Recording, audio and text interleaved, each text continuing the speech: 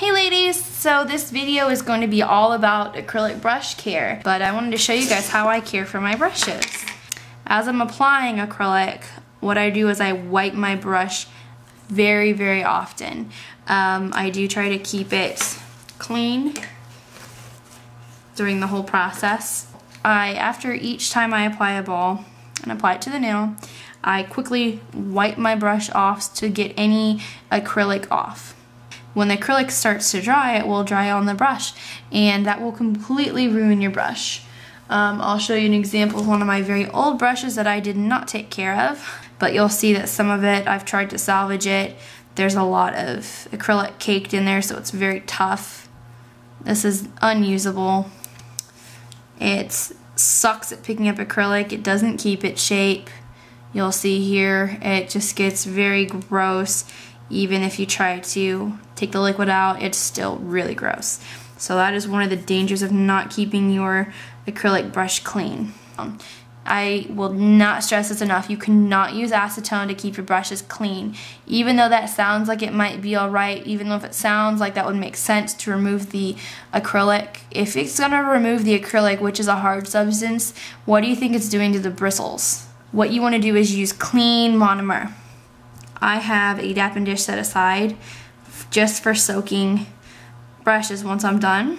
What I do is I fill this up with monomer and clean these out uh, pretty often because you will get acrylic that has come off your brush if you don't clean it enough and it will kind of gunk up and get really nasty. So just put acetone in there and clean up around the edges or inside and soak it and make sure that there's nothing in there. What I do is after I get done with the acrylic. So I'm just going to pick up another ball really quick. So here's my acrylic. I'm going to just wipe that off. And how I do this to try to keep my brush a shape, um, as I'm wiping my brush, I twist it. I don't know if you guys could really see that, but I twist my brush and kind of dry it and keep that tip pointed. Okay, that, that's going to keep your brush in good shape and ready for next use. But once you're once I'm done, what I do is I find something to prop this up against. So for this example, I'm just gonna use this.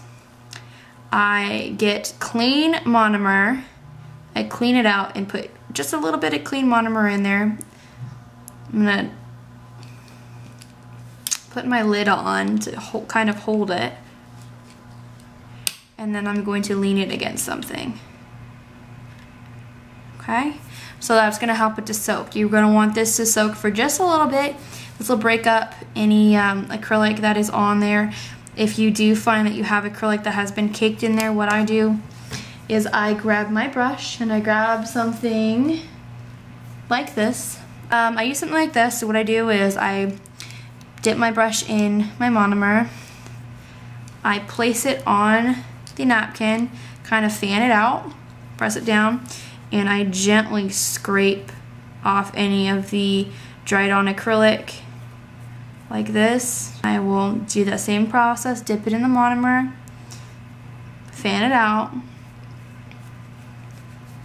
and scrape off any that have dried. You're not going to want to use acetone. The reason for that is it will dry out your bristles. Once your bristles are dried out, it's not going to pick up the liquid properly and it's not going to pick up the acrylic properly. So it's going to be rendered useless eventually. Um, also, the acrylic, or the acrylic, the acetone will dry out the glue which is located in the barrel of the brush down here to hold the bristles in place. Now, if that happens, um, and it's especially, uh, it happens a lot if you don't allow your brush to dry and you just stick it um, bottom down. In addition to not using acetone, the most important thing that you can do is once you uh, dip your brush into the monomer, once you're done, into the clean monomer I should say, and you start to just drag it across your paper towel, dry, clean, um, shape it.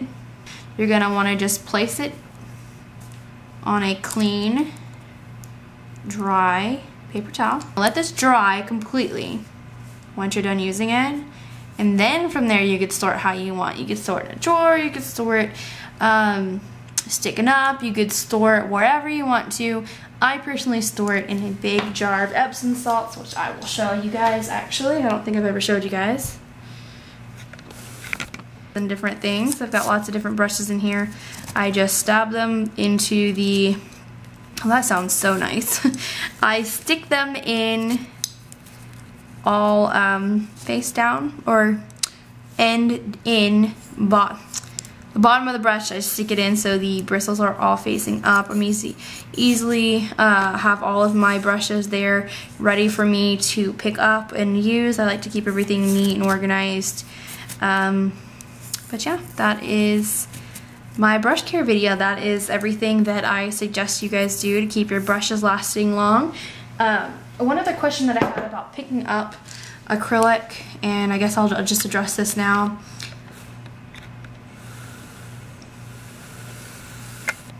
When picking up acrylic, once you dip your brush in um, into the monomer and you drag it across, you drag it across your um, your acrylic powder, you're going to want to barely dip anything in and kind of drag it across. You don't want to dip it straight in because then you'll get acrylic all the way around all the way around your brush. You want it to be on one side and then flip it over and apply your acrylic that way. But that is my brush care video. I hope you guys enjoyed it. Hope this will help somebody uh, save their brushes.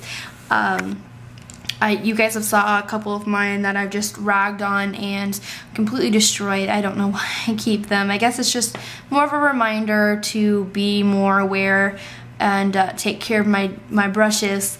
Um, but that is how I keep my brushes new and uh, continuing to work correctly. So I hope you guys enjoyed this. If you guys have any questions, please feel free to comment below or you could PM me.